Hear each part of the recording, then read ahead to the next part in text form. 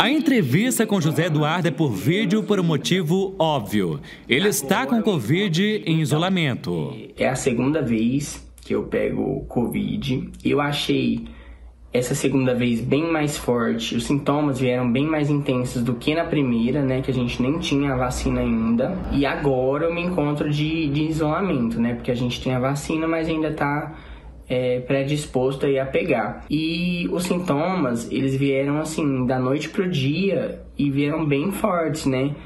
Vieram como se fosse uma gripe, então você fez o, o exame e deu positivo. O número de casos de Covid-19 deu um salto. Segundo o Consórcio Nacional de Veículos de Imprensa, a média móvel nos últimos sete dias foi de 9.128 novos casos, um aumento de 71% em relação a duas semanas.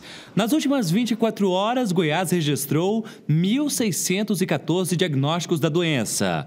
O Ministério da Saúde emitiu um alerta para o aumento do número de casos e a circulação de novas linhagens da variante Omicron e informou que 21 unidades da federação registraram aumento no número de casos, entre elas Goiás. O Ministério da Saúde e unidades de saúde. A recomendação é especialmente para imunossuprimidos, idosos, gestantes e pessoas com comorbidades. Há poucos dias, as secretarias municipais de saúde de Catalão e Jataí alertaram sobre o uso do item de proteção e reforçaram a importância do esquema vacinal completo. O principal objetivo da vacina é prevenir internação e prevenir óbitos. E mesmo para essa nova subvariante, as vacinas que estão disponíveis, elas conseguem dar essa proteção.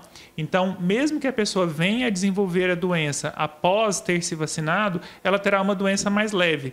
Então, é muito importante que todos se vacinem. A população em geral são quatro doses que ela deve receber. E as pessoas imunossuprimidas, que é quem tem imunidade baixa, têm o direito de receber até a quinta dose. A vacina já está liberada para crianças a partir de seis meses. Então, é importante que os pais levem seus filhos também e toda a população verifique os seus cartões. Os números mostram que a vacinação é fundamental para salvar vidas.